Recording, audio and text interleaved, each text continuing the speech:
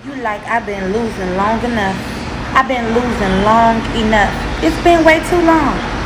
It's been way too long. You've been losing. You've been missing out on your blessings. You've been losing. You've been around people who are secretly praying on your downfall. They're praying on your downfall. Get away from them. They make you feel low. They don't make you feel high. They don't make you feel how God wants you to feel. You've been losing for too long. God said it's your season now. It's your season right now. Right now, today, it's your season. It's your season. You shall not be the same from this day forward. God is saying you shall not be the same. You shall not be the same from this day forward. You will not be the same. You will not be the same in Jesus' name. Amen. You will not be the same. We rebuke the devil in Jesus' name. Yes, we do. You will not be the same after today. After today, you will not be the same. This is your winning season. Take control of it. Take control of it. Accept it. Receive it. This is your winning season. This season, you are going to win. You have been preparing and preparing and preparing and preparing and preparing. It's time to come out. It's time to come out. You've prepared long enough. God said you have prepared long enough. You've prepared. God is the plug. God is the plug. God is the plug.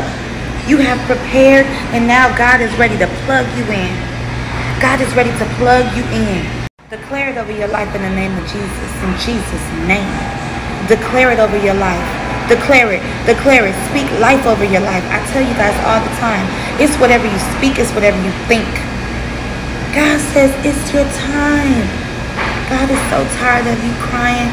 Child of God, God is so tired of you worrying. Cast your worries and your anxiety all on me. God said, cast your worries and anxiety on, on me. On me. Because he cares for you. I love that scripture. God cares for you. God does not want to see you crying down and out, worried about your spouse, worried about your children, worried about your life, your circumstance, your situation. God said, come on home. Come on home. Declare it over your life. The enemy can't stand it. The enemy cannot stand it. Declare it over your life. The enemy can't stand it. That's one thing the enemy cannot stand is you declaring life over your life. Is you declaring God's word over your life. The enemy can't stand it. So I want you to do it. I want you to do it. God said the problem is you're trying to do it without God. You trying to do it without God. The minute you accept God and let him do it. See, we believe in God. Yes, we do. But if we really believed in God, if we really, really, really, really, really believed in God, we will let him take control of it. We will let God take control of it. Have you ever just put your life in somebody's hands? A Uber driver, a friend, a, a man, um, anybody, and just really trusted them? Trust God now. Now you can trust God. Stop trusting man. I'm not saying don't trust the man that you're with. I'm not saying don't trust the people that you're around. But if you have allowed to trust them, allowed yourself to trust them, trust God. So whatever problem you have, take it to God. Even if it is about a man, take it to God. Take it to God. And to that enemy, it's dangerous to mess with a child of God. So you don't got to worry about that, honey.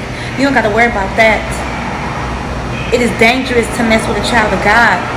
Super dangerous. God is on your side, you cannot lose. You cannot lose. When God is on your side, you cannot lose. Who could be against you when God is for you? Who could be against you when God is for you? Come on now. The word says, The Lord is my shepherd. I shall not want. He makes me lie down in green pastures. Come on now.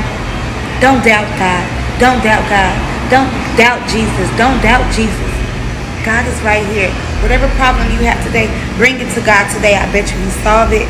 I bet you he solve it. I promise you he'll solve it. I know he'll solve it. He solved all my problems. And baby, I got problems on top of problems on top of problems on top of problems. Even if people need help from me, I ask the Holy Spirit, lead me, Holy Spirit, to help this person. Lead me. Whatever I ask, whatever I ask, God will do. Ask and you shall receive in Jesus' name. Amen. Amen. Amen. And amen. The Bible said, if any man be in Christ, he is a new creature. He is a new creature. If any man be in Christ, he is a new creature. God said, be in Christ. Be in me. Recreate yourself. You are a new creature. You're a born again Christian. I don't care what nobody has told you. I don't care what you feel like. Speak it over your life. Speak it, speak it. Even if you don't believe it, speak it now so that it could come true. Begin to believe it. God loves you. God loves you. He don't want to see you like this. He don't want to see you go out like that. You got clothes on your back. You got food in your mouth. You have shelter. You have it all because of God. And if you don't have it, go get it. Ask God for it. He'll give it to you. He will give it to you. He will give it to you.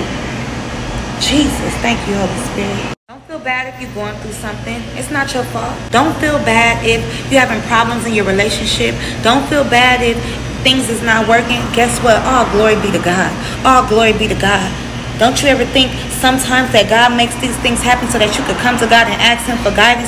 Don't you think that the devil then came in and the devil then tainted some things and made things all disproportionate, out of proportion? No, no, no, no, no. God said, come to me. Come to me. I handle it. I handle it. Whatever you can't handle, I handle it. God wants to handle it. He wants to handle it today, right now. He wants to handle it.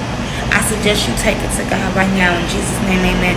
I pray for anybody who has any problem right now and doesn't know if they want to take it to God. God said, bring it to me. I got it. Bring it to me. I got it. Heavenly Father, I just thank you for using me as a blessing, as a vessel for your people to guide them. Lord, let the Holy Spirit lead me, Lord. I am led by the Holy Spirit in Jesus' name, amen. I am led by the Holy Spirit. The Spirit of the Lord is upon me. And God is telling me to tell you right now, trust in him, trust in him, trust what his word says. Trust in his words when he speaks to you. Trust in him that he is bringing people to you to tell you what to do. He is leading you. He is having the Holy Spirit lead you where you need to go. He is directing your path. In Jesus' name, amen. He is directing your path. Don't worry about it. Don't worry about it. Ask and you shall receive. Knock and the door shall be opened unto you. Amen. Stay blessed, you guys. I love you. I'll see you again.